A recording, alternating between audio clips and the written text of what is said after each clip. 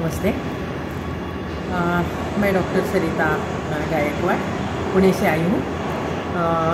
All India Institute of Ayurveda के इसके पहले भी मैं आ चुकी हूँ 2017 में डायबिटीज़ और इस कॉम्प्लिकेशंस पर डायबिटिक नेफ्रोपैथी का प्रोटोकॉल बनाने के लिए। मुझे यहाँ पर आकर बहुत खुशी होती है, क्योंकि यहाँ के सब लोगों को एक जिज्ञासा होती है कि हमारा शास्त्र कैसे प्रगत करे और हमारे स्टूडेंट को कैसा दूसरों की तरफ़ से अनुभव हमको प्राप्त हो। और इसके बारे में ये संस्था हमेशा अग्रसर रहती है।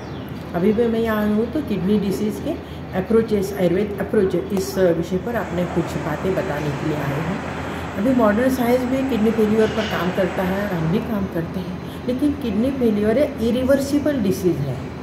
ऐसा मॉडर्न साइंस कहता है, लेकिन हमारा साइंस ये प्रूव कर चुका है कि ये किडनी फेलियर की बीमारी रिवर्सिबल हो सकती है। क्योंकि हमारा शास्त्र ऐसा कहता है कि समदोष समागनिष्ठ समधातु मन क्रिया प्रसन्न आत्म इंद्रिय मन स्वस्थ एक इत्युदि अभी किडनी पेशेंट को वो डायलिसिस करते हैं, लेकिन पलंग के सूत्रा की क्रेटिनाइन और ब्लड एरिया बढ़ने शुरू हो जाता है।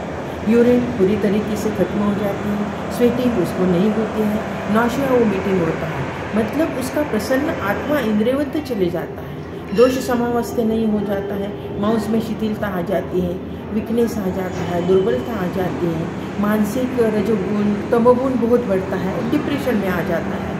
और आप सभी जानते हैं, विषादो रोग रोग वर्धना नाम श्रेष्ठ, और तो फिर वो रोग बढ़ते ही जाता है। लेकिन हम कंसेप्ट पर ट्रीटमेंट अगर उस पर किया जाए तो हम उस पर समदोष सब दोषों को समस्थिति में लाना, बिगड़े हुए दोषों को समस्थिति में लाना, ज़्यादा बिगड़े हुए हैं, ज़्यादा प्रकोपित है, उनका शोधन करना जो कम बिगड़े हैं, उसको साम्यावस्था में लाने के लिए शमन चिकित्सा देना और अनुलोम चिकित्सा देना, क्योंकि इसमें दीपन पाचन करना बहुत ज़रूरी है, होता है। कभी भी हम किडनी फेलियर के बारे में बात करें तो पेशेंट जब हमारी तरफ़ आता है तो उसकी अवस्था क्या होती है? और दुर्देव की ये बात है कि जब पेशेंट हमारी तरफ़ आता है तो वो फोर्थ किडनी स्टेज फाइव में आता है।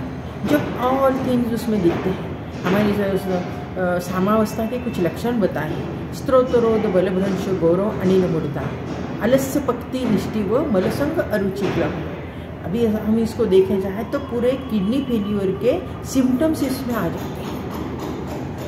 स्त्रोतरोध हो जाता है मलमूत्र का संग हो जाता है मतलब स्वेद नहीं आता मूत्र न कम आता है और, हमारा कॉन्स्टिपेशन हो जाता है मलावश्रम्भ हो जाता है मलसंग हो जाता है अनिल मूर्ता अनिल हमारी मतलब वायु मूर्ता के जैसे कार्य करता है चलन गति कम हो जाती है ब्लड सर्कुलेशन कम हो जाता है और इस तरीके से नाशिया वोमिटिंग भी होता है मल निष्ठिव आलस्य पक्ति निष्ठिव आलस्य आ जाता है।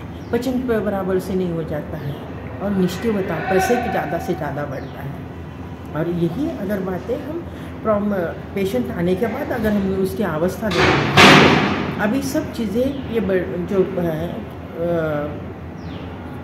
बीमारियाँ दो प्रकार कारणों से होती है। एक अख्तरपंजन है दूसरी संतरपंजन है लेकिन अभी की जब सब हम सेडेंटरी लाइफस्टाइल देखिए तो सब बीमारियाँ संतरपंजन्य व्याधि से होती है हेतु से ही बनी हुई होती है। जैसा कि विदयी अभिसंधि आहार का खाना गुरु आहार खाना फास्ट फ़ूड खाना बेकरी के प्रो, बेकरी प्रोडक्ट खाना दुग्धजन्य पदार्थ खाना इस सबसे हमारे स्रोतों अच्छी तरीके से काम नहीं करते वो स्त्रोतरों तो उसका हो जाता है।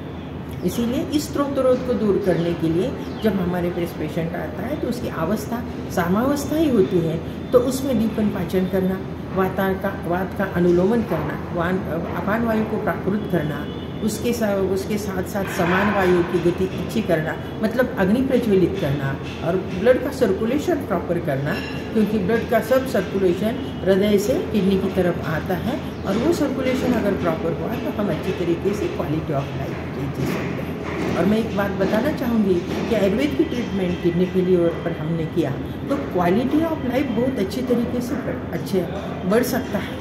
क्योंकि अगर डायलिसिस वाला पेशेंट हमने देखा तो वो डायलिसिस से क्रिएटिनिन ब्लड लेवल तो कम हो सकता है। लेकिन एक कपड़ा नीचे जैसा वो मलूल जैसा हमको दिखता है, लेकिन क्वालिटी ऑफ़ लाइफ हमारे शास्त्र के अनुसार अगर चिकित्सा की स्टेप बाय स्टेप दीपन, पाचन आतानुलोमन और फिर रसायन चिकित्सा तो उसमें बहुत अच्छे फ़ायदे मालूम होते हैं और क्वालिटी ऑफ़ लाइफ हमारा बहुत अच्छा बढ़ सकता है।